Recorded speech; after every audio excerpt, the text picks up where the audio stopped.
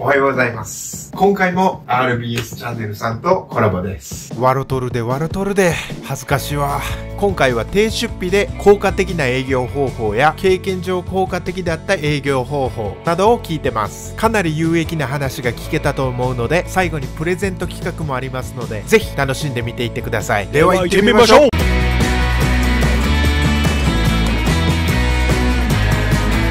固まる保守株式会社 RBS チャンネルさん、僕は大ファンなんですけど、はいどんなチャンネルか初めてだったりは説明してあげてください。私たちのチャンネルでは、リペアを、まあ、始めたての方だったり、リペアをやってて、集客に困ってたり、お客さんなかなかつかないな。今後拡大させていきたい人の少しでもこう、アドバイスだったり、そういうためになるような発信をしています。ありがとうございます。ぜひチャンネル登録と高評価よろしくお願いします。今回なんですけど、一人親方になりたいなって思ってる人とか、一人親方なりたての人、そういう人たちが、なるだけ低出費で営業して、なるだけ効果的なものを教えていただけたら嬉しいなと思います。そうですね。最初はお最初は金がないから、ないんで、やっぱり一番は業態効果高いのが、チラシ、チラシ。リーフレット、パンフレット。まあリーフレット、パンフレットはちょっと高くなっちゃうけど、チラシとかを作って、それをまず配る。これ、よく DM で送るっていうのもあるじゃん。はい。DM で送る人っていうのは、これもこれでありなんだけど、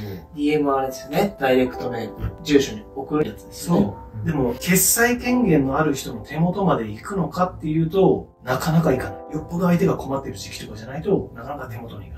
だから本当に提出で効果的にやるんであれば、やっぱ自分でチラシを配りに行く。手で、手でもう渡しに行く。でもみんな営業するっていうと、やっぱ会社に行こうってみんな大体想像すると思うんですけど、そうですね。結構それしんどいじゃないですか。はいはい。メンタル的に。まあまあ探していって断られて断られて。そうですで本当だったら渡したい担当者がいるんだけど、そこまで繋ぐまでに断られて、で、そうですね。メンタルが折れるとか。はいはい。だから、基本的に会社には行かないで、で、自分家の周りとか、自分の移動しているルートの中にある分譲地でできるだけ巻く。はいはいはい。そうすれば、比較的現場監督に直接会うことも多いし、はい。まあ、あと、職人さんでも、大工さんとかでも、直接渡して話をする。はいはい。で、話をすることによって、相手の記憶にすり込めるから、いざ困った時に、はい。電話が来やすい。ああ、確かに。だから、会社にただ DM を送るとか、なかなかタイミングがものすごい大事なんで、このタイミングはわからないと全部無駄な郵送代に変わっちゃうんで、やっぱり一番は自分で分譲地、現場に行って配る。それで直接話してお願いしますって言って記憶にすり込むっていうのが、これが一番多話して、やっぱ対話をしやんと分、そうですね。覚えてももらえないっていうことになりますもんね。あ、リペア。あ、あの人確かリペアやってたなって思い出してくれて、一回頼んでみるかっていうのもありえそうですもんね、すごく。大体そこからなんですよね。そうですないね。きなり営業して、まあそれは会社だったとしても、DM だったとしても、営業してすぐ、あ、じゃあお願いしますなんていうことはまずなんないじゃないですか。まずなんないですね。困った時に、そうですね。あ、あそこに頼んでみようかうん。ってなるんで、困った時に思い出してくれなかったら意味がない。そうですね。チラシ1枚郵送で送っても、そんなもん、ポイって知れすぐ行っちゃうんで、大体思い出す前に消えちゃうんで、そうですねまず思い出してもらうためには、まず会って話をする。だから特にそれのハードルが低いのが、やっぱ分譲地。自分が一人親方で今スタートだったら、まずそれをやります。ああ、完璧ですね。完璧ですね。完璧なスタート切れますね。完璧に。実際うちらのうんチラシもあったじゃないですか。うん DM で送ったのは、リペアに関してはそこまででしたよね。うんで、実際チラシ配って、ポスティングも結構してて、そのポスティングも正直あんまりだったと思うんですよ。うん、ポスティングもあんまり。で、ただ、現場に職人さんに渡したとか、うんそういうチラシが何枚かあったんですよ。多分それがたまたまハウスメーカーとか工務店の監督の目に留まって、ああ。来たっていうのは、見たら、構間接的に、なんか、この間なんか募集やるなんかこんなん来たけど、とか、そうそう監督にそう渡してくれたりとか、もある可能性もあるし、で、結構大きいハウスメーカー系のところだと、物件数多すぎるんで、リペア業種に困ってる監督さんとか、一時的に困ってる人って多分結構、まあ、時期的にもう募集やがもうみんな、そうですね。自分の知ってる人がもうみんな出てもうてて、みんな探してるみたいな時に、たまたまうちのチラシが現場にあって、で、頼んでくれて、行ったら、なかなか良さそうだから、ちょっと今後もお願いしますって言って、そこのシェアを食らい尽くしたみたいなのは、あありましたね。まあでも、まあそれで、はい行ったらまたそっからまた広がりもそうですあったり、ねはい職人さんはいで、リペア困ってやこの人がいいから使ってよっていうのもあったりもすると思うんで、まあ一つ大切にこう、やっとけば派生していくんでだいぶ、とやっぱりいいですね。やっぱそれが人っぽいですよね。ねなんかの人である。人である建築業界の独特なもんなのかなって、これは。あ、この、こういう広がり方このが。広がり方が。人の口コミ伝いで広がるのが一般的、そう一番多いってことですよね。そうですね。どんだけネットが普及しても、建築でやっぱり口コミには絶対にこれ覆すときは多分無理だろうなまあ、自分は思ってますね。ですね。話す人と、こう、人と人との信用があるんで、ここええよって言われたら、ええんやってこう、うん。普通にまあ、そのまま信用できるうし、ん。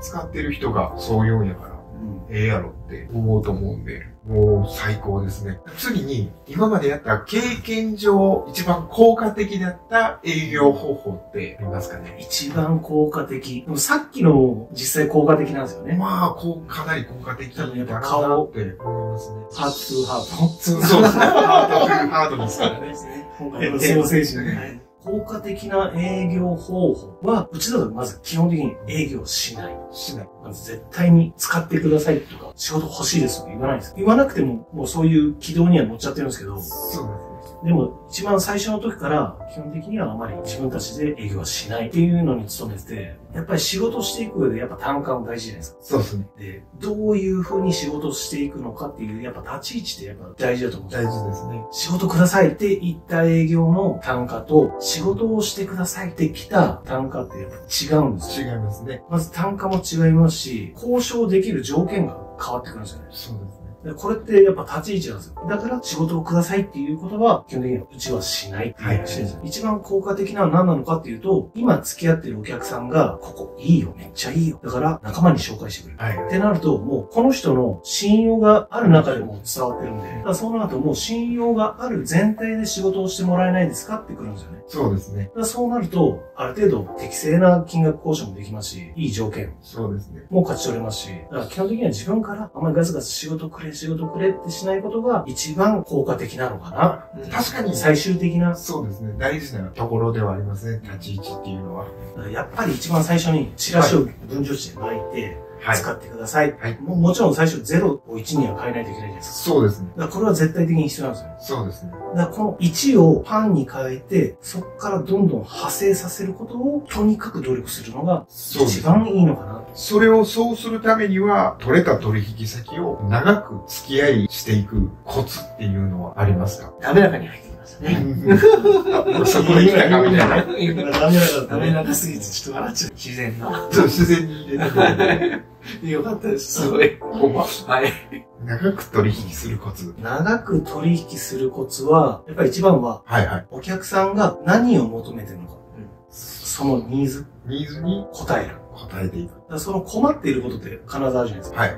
だからみんなただ傷ついたから、あ直してくれ、直してくれって別にこれって誰でもいいわけじゃなくて、そうですね。もちろん傷を直してほしいっていうのは必ずあるんですけど、はい。その裏に本当のニーズって困ってることってみんなあるんですよね。それを提供するっていう。例えば、依頼かけてから、ああんまり後期のない場合だと、はいそのケツまでにきっちり仕上げる。はい。きっちり全部終わらすと。それは大事ですね、かなり。一級建築士事務所とかってなると、やっぱ高額物件を使ってるんで、はいはい。はいそうなってくると、応対の仕方とか、あと品質とか、どっちかというと数をさばいてっていうよりも、一個一個の品質だったり、そういうのをやっぱ求められたりしますし、相手がまず何を困っているのか、それを提供することが、やっぱ絶対的に長く取引することだと自分は思います。で一番最初に取引するときに、必ずやっておかないといけないはいはい。があるんですよ、はい自分も。だから最初、新規で、初めましてって言って名刺交換するじゃないですか。はいで、その時に、今回なんでうちに依頼くれたんですか？はい会った時に話するんですよ。あんまり話してくれない人もいますけど、でも大体の人って話してくれるんですよね。おしゃべりの中で、今まで使ってた保守屋さんは、ちょっと品質が悪かった。じゃあ、この会社は品質をよりいいものを提供した方が、相手の困ってることにマッチしてるよね。そうですね。もしくはやっぱ、さっき言ったケツまくっちゃったとか。はい。って言ったら、やっぱ期日をきっちり守るっていうことが、この会社にやっぱ一番求められてることだし、あと他には無口でぶっきらぼうで、お客の前に連れて行けない募集屋とかもいたりするじゃないですか。あと、たまに変なこと言っちゃう。そういうことで困ってる人には、エンドユーザーとの対応がしっかりできて、で、現場監督、元請けさんがエンドユーザーとより仲良くなれるように話を務めていくっていうことを、やっぱ優先的にやっていくと、それで現場が円滑に進んでいくじゃないですか。そうですね。でそうなってくると、エンドユーザーは、この工務店が良かったって最終的に顧客満足度上がるし、だそれでリペアがそういうことに努められれば、あ、このおし屋さん使った方が今後もいいよな。そうねトラブル。あっても解決させてくれるっていうのにも繋がってくるんで、その自分の取引先が何を求めてるのかを必ず最初に聞き出しておいて、これをリスト化して、全部明確化して残しておくっていう。ここは品質とか、ここはスピードが必要だ。菊田君が行くときとかには、だからここは品質が大事だから、覚えといて、はい最初に一回言われて行くような感じ。そうですね。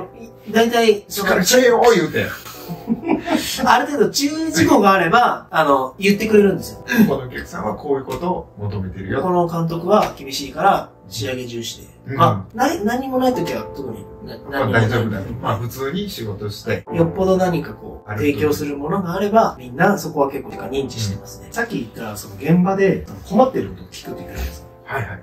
で、その困ってることが聞き出して、その内容が例えば、ケツまくるとか、時間通りに来ないとか、あと金額ぼったくるとか、だからそういう不誠実な人間を使ってたってなると、めちゃめちゃもう激アツの会社ですね。だから誠実な対応をしとけば、基本離れなくなるんで。普通にやってればいいですもんね。そうですよ。だから誠実を求めるって、これ技術とかスキル云々じゃないじゃないですか。そうです金額とかでもないじゃないですか。だから人間性じゃないですか。そうだから人間性を一回信頼してもらうと、もうこれ離れないんですよ。です。まあでも向こうも向こうでありがたい。そういう。そうですね。使い続けるってありがたいし、こっちもありがたいっていう。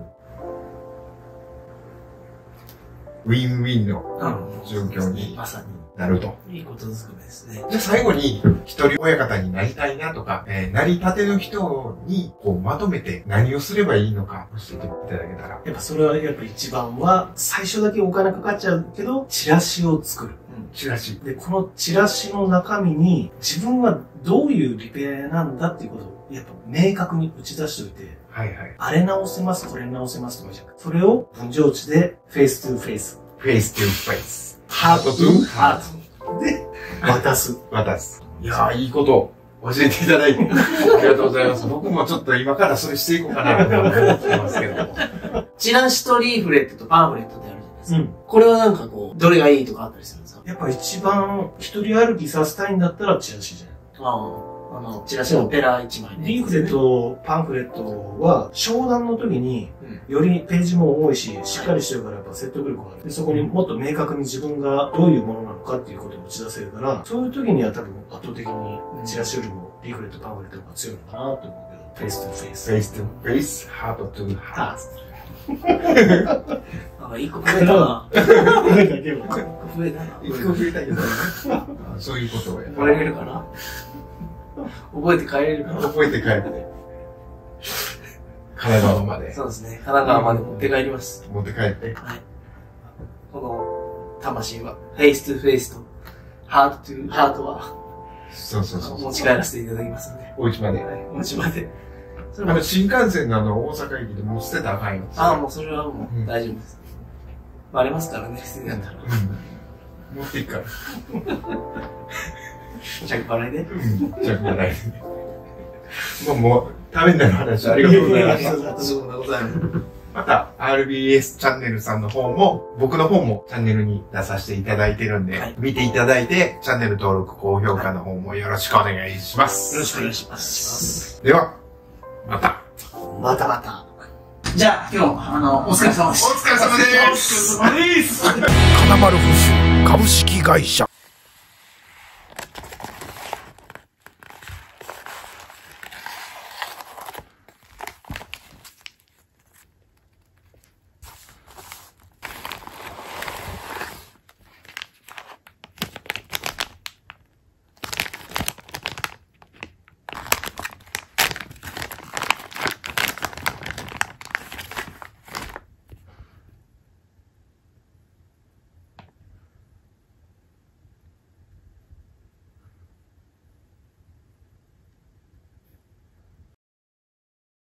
めっちゃええやん、これ。Twitter にてプレゼント企画やってますので、ぜひご応募ください。ご視聴ありがとうございます。ぜひチャンネル登録とグッド評価よろしくお願いします。